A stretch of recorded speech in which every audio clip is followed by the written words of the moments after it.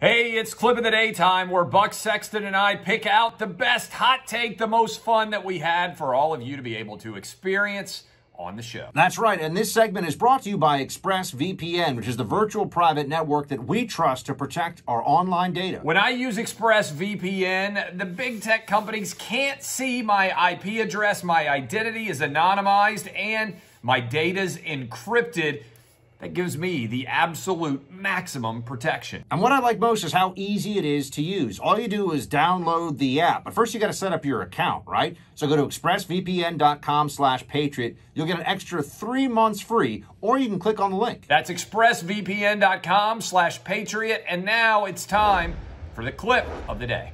There's an interesting story going on right now in the NBA with a player named Kyrie Irving. Now, we've talked before – about how NBA players have been very questioning in many ways of the efficacy and necessity of COVID vaccines.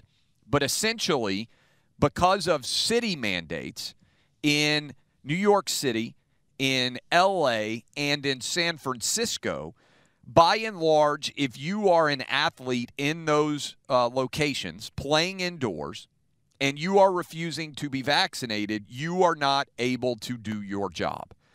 So Kyrie Irving right now, at least for the moment, is sticking to his guns and refusing to be held, uh, uh, be a part of the COVID vaccine mandate, and he therefore is not going to be able to play in your hometown of New York City for the Brooklyn Nets. He's one of the best players in the NBA, one of the highest paid. What's interesting to me is not only Kyrie Irving having the resources to fight against the COVID vaccine mandate, and also to put a different spin on who is refusing the COVID vaccine, right? We're not talking about Southwest airline pilots. We're not talking about Trump supporting red state voters.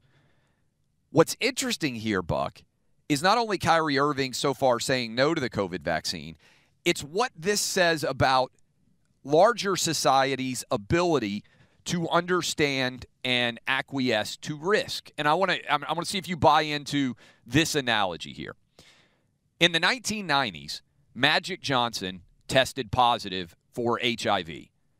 At that point in time, HIV was a death sentence. The idea was if you got it, you were going to die, and announced that he was no longer going to be able to play. After getting treatment, the NBA permitted Magic Johnson to come back and play. They changed protocols to say if you had a cut, you had to come off the court. There were players that were apprehensive and nervous about the idea, obviously, with bodies banging into each other, the idea of potentially blood transmission leading to an HIV infection. But Magic Johnson was allowed to play. I want to contrast that. And by the way, that's the right decision, I think, based on the data and the science but the risk of an HIV infection occurring, however remote and limited it might have been during the course of competition, was at that point in time considered to be a death sentence. In other words, unlike COVID, which spreads, and if you get it, you're sick. If you're a young, healthy athlete, you might not even know you had it. We haven't had any athletes who are uh, in in competition that we know of at the professional level where COVID has even spread from one team to another or one player to another. Even in something like football, where you're tackling, certainly in basketball, it hasn't happened. And obviously, Michael Jordan is one of the most famous athletes of all time, partly because he played basketball with the flu, refused to allow the flu, at least according to uh, historical record, to keep him from having an incredible game. Obviously, the flu is very communicable during the course of a game as well. That made him a legend. Do you find this interesting in the space of whatever it is, 25 years roughly, Buck? We have gone from let's find a way to allow Magic Johnson to play with HIV, which at that time was effectively a death sentence, to now we can't even allow Kyrie Irving in New York City or LA or San Francisco to play if he's unvaccinated, even though, Buck, they can test him and confirm that he isn't COVID positive, and that anybody out there who is nervous about this could go get their own COVID vaccine and theoretically have even more protection. What does that tell us about risk analysis and risk factors. Do you find this as intriguing as I do in a larger societal picture? Well, yes, because the people who are pushing for the mandates won't really say this out loud, but they need, in their own minds, for the mandates to be universal and without exception, right? So they, they need it to apply to everybody. They need there to be almost no opt outs or loopholes whatsoever because, in their minds, they're going to turn COVID, and this is, I think, where the epidemiology, not that I'm a doctor or playing one on radio, but this is where the epidemiology becomes a problem for them. They think that this is going to be like measles. They think that this is going to be like malaria, a disease that we have effectively eradicated in the United States. They don't seem to understand that this is going to be much more like either the common cold or the flu in terms of the various iterations it's of it, never the strains, going away. the mutations. There, it will never be gone entirely. The same way that as much as it would save a lot of lives and billions of dollars of lost productivity and working hours every year to get rid of the common cold, to get rid of the flu, we don't yet have the scientific basis to do that. We don't yet have the knowledge to do that. And we are seeing, I think, that people believe that this is going to be because this is what they're saying also about the vaccine mandates. Oh, it's just like what about measles, mumps, rubella?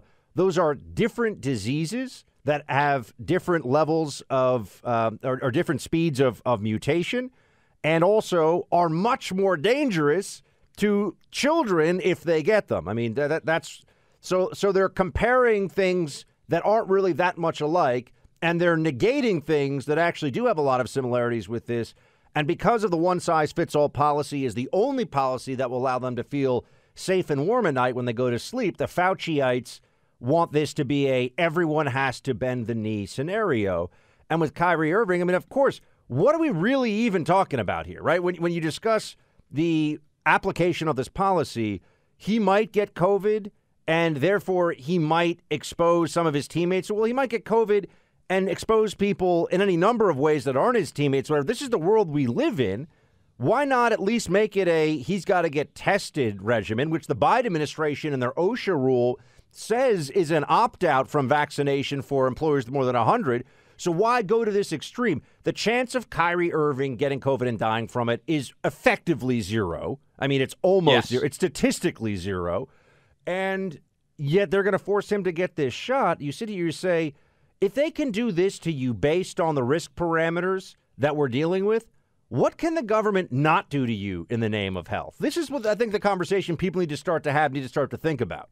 And and I think what has to happen is people with the resources can fight this. I, I think what Kyrie Irving, whether you agree or disagree with him on a variety of different subjects, he has the financial resources to be able to survive and take care of his family without making the money right now.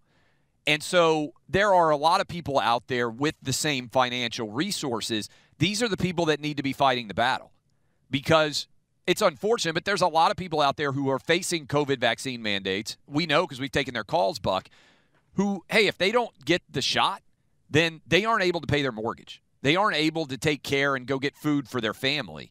And so as a result, a lot of people have to comply even though they fundamentally reject the very uh, the, the very precept of requiring mandating these vaccines. So I, it also changes the storyline of who exactly is fighting this battle.